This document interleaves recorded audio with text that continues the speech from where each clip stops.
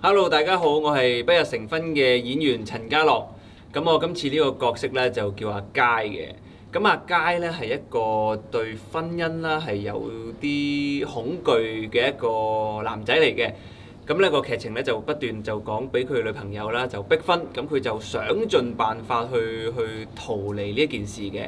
咁結果係點呢？就希望觀眾你哋自己去睇啦。咁我都好開心啦，今次可以入到呢個金馬奇幻影展作為呢個電影嘅。咁希望誒、呃、電影可以喺台灣度上映，咁到時你哋就睇完之後可以俾翻多啲意見我，同埋講下你哋喺台灣嘅一啲男女愛情事俾我哋聽。咁睇下我哋唔同嘅地方會唔會有唔同嘅故事。不日成婚會喺台灣四月二十三號上映，咁到時希望大家可以多多支持。